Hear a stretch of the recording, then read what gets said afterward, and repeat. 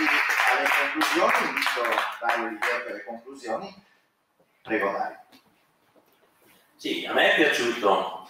A me è piaciuto dare la possibilità alle aziende presenti in MIC di eh, presentare eh, le loro linee sostenibili, a presentare le loro linee green. Eh, inviterei l'ingegnere Cavedani, presidente di Acoma, per dire due parole appunto di saluto. ingegnere, la prego. Guarda davanti al mic. Visto l'orario, una parola e mezzo. Eh, allora, Acomag è l'associazione che raggruppa i fabbricanti di macchine da gelato e arredi italiana e ha 20 associati, un fatturato circa di 650 milioni di euro con 1400 addetti e riteniamo di avere tra gli associati l'85% di quota di mercato. Quattro dei nostri associati hanno sfilato eh, presentando le loro realizzazioni.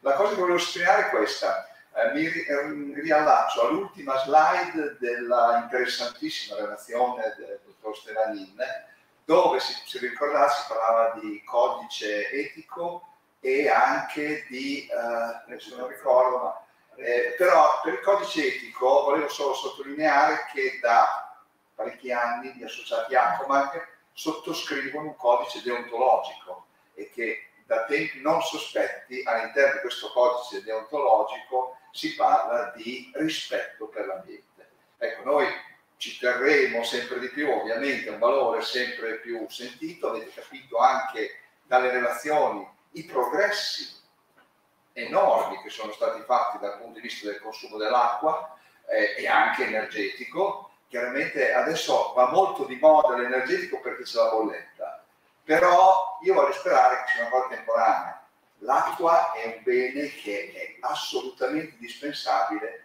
che all'interno delle asaterie il consumo venga ridotto.